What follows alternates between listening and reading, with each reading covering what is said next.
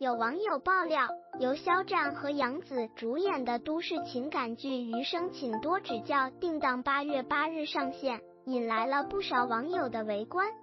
该剧是很治愈的一部温情剧，讲述了音乐系大三学生林之孝因父亲生病住院，与父亲的主刀医生顾魏邂逅并相爱的故事。这部剧早在二百一十九年就杀青了。原本上一年暑假就要上线的，但因为男主肖战遭遇了二百二十七舆论风波，影视歌综多领域被抵制，所以就搁置了。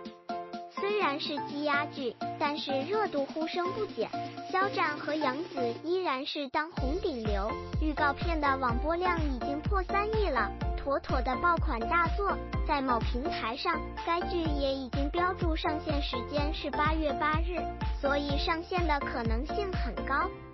杨紫是童星出道，已经有近二十年的演戏经验，台词功底强，演技好，对角色拿捏恰到好处，演什么都很有感染力，很受剧迷喜爱。肖战今年凭借古装剧《斗罗大陆》回归大众视野，还获得了国民品牌李宁的支持，成为其代言人，已经完全走出负面的影响，回归巅峰。而他不仅人气高，演技也很好，在巅峰时期还一头扎进了舞台话剧《如梦之梦》，台词功底、演技提升都很明显。不过，余生选择在暑假档上线，还与同是都市情感剧的《你是我的荣耀》和《理想之城》撞档，竞争激烈，收视不容乐观。《你是我的荣耀》已经上线了，由杨洋和迪丽热巴主演的电竞甜宠剧，是根据顾漫的同名小说改编的。讲述了人气女星乔晶晶在游戏中与曾经的高中同学于途意外重逢，一起追求梦想的励志青春故事。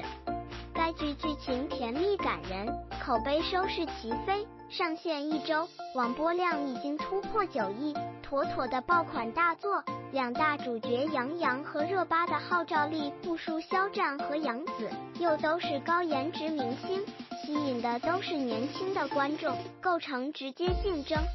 《理想之城》是由孙俪和赵又廷主演的建筑师行业情感剧。孙俪是大满贯视后，演技好，他对剧本角色的要求很高，还会深入去体验所演的角色，所以很能引发共鸣。有孙俪出品必属精品的美誉，当之无愧的收视女王。